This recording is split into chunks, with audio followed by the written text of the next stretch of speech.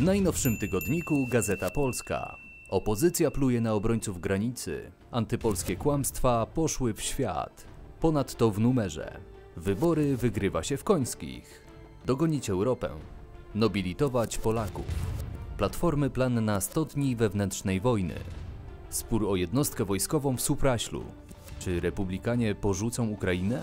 I Polska tarczą świata chrześcijańskiego. Czytaj w tygodniku Gazeta Polska.